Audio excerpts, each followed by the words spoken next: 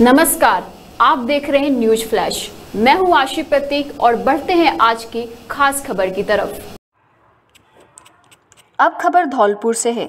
धौलपुर जिला कलेक्ट्रेट परिसर में भारत निर्वाचन आयोग के निर्देशानुसार निर्वाचकों के पंजीकरण के लिए प्रपत्रों में संशोधन चार अहर्ता तिथियों, मतदाताओं के लिए आधार डेटा के संग्रहण के संबंध में राजनीतिक दलों के प्रतिनिधियों के साथ बैठक का आयोजन जिला निर्वाचन अधिकारी अनिल कुमार अग्रवाल की अध्यक्षता में किया गया। उन्होंने कहा कि निर्वाचन आयोग द्वारा को मतदाताओं की सुविधा के लिए एवं उपयोगकर्ता के अनुकूल बनाने के लिए नए महत्वपूर्ण प्रावधान के अंतर्गत अनाथ, गुरु के मामलों में कानूनी अभिभावक का विवरण अब रिश्तेदारों के विवरण के अंतर्गत दिया जा सकता है। जन्म के प्रमाण और निवास के प्रमाण के लिए कुछ दस्तावेज़ निर्धारित किए गए, जो सेवाओं की गति को त्वरित कर सकेंगे।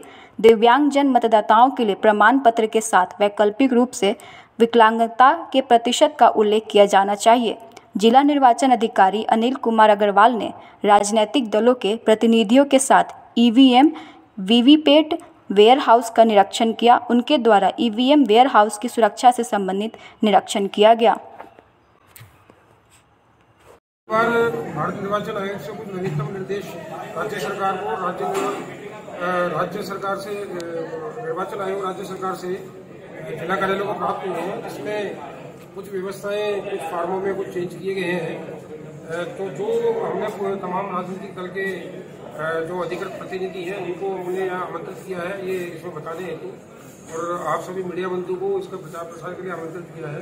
इसमें हमने मोटे तौर पर इनको जानकारी दी है। कि फॉर्म छः, सात, आठ में जो नाम जोड़ने, हटाने, शुद्धिकरण के लिए है, एक नया फॉर्म जो आधार की से, आधार कार्ड से इसको लिंक करने का है, उसके बारे में विस्तृत जानकारी दी गई।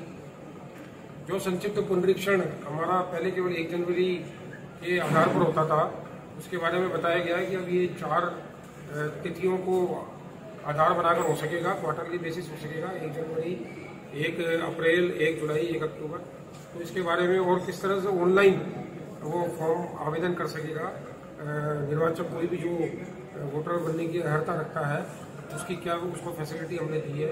और मैंने इस मीटिंग में पाया है कि सभी राजनीतिक दलों का बड़ा उत्साह था। इसमें इन्होंने बड़े अच्छे सुझाव दिए हैं कि ये क्यों नहीं इसको आधार कार्ड की बाध्यता कर दी जाए ताकि ये चुनाव प्रक्रिया की पूरी शुचिता, पारदर्शी और निष्पक्षता मेंटेन की जा सकती है मैं सुझाव का स्वागत करता हूँ बट अभी हमें भारत निर्वाचन आयोग से यही निर्देश है कि इसको, अभी उन्होंने वहाँ केंद्रीय स्तर पर इसको अनिवार्य नहीं किया है।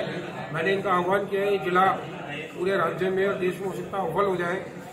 यदि हम यहाँ सभी वोटर्स को आधार कार्ड से लिंक कर दें तो मैंने इसका आह्वान किया। मुझे उम्मीद है ये जिला इस प्रक्रिया में चुनाव प्रक्रिया की शुचिता की दृष्टि